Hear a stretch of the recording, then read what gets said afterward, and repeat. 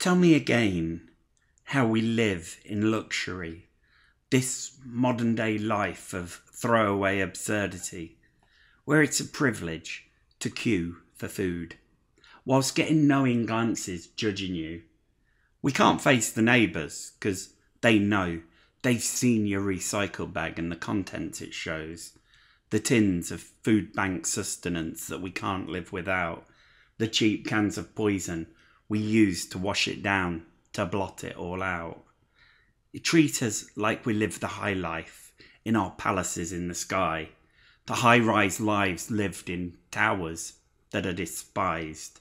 A blot on the landscape, the rich man sighs as he pulls up to his gated mansion of lies.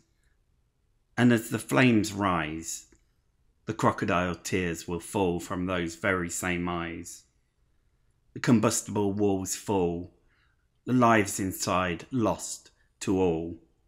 Cost cutting measures to save a few pounds, to pile on mountains already too tall. Poor lives matter less than the upper classes.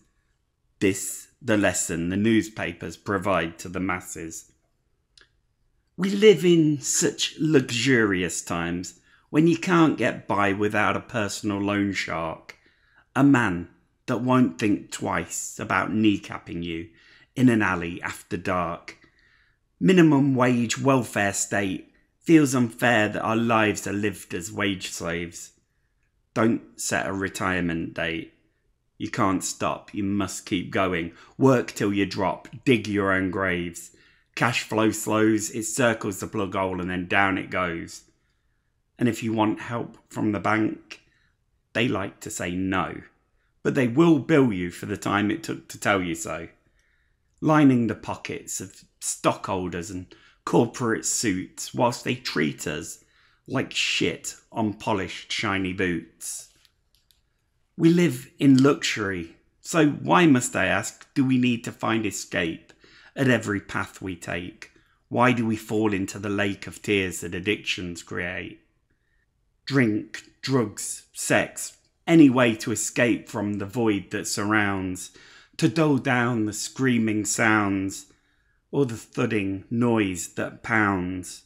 We watch television shows to see how the other half live their lives, but it's less about the other halves than the small percentage that hold us at the point of their knives, thieves and vampires sucking us dry bleeding us of our rights.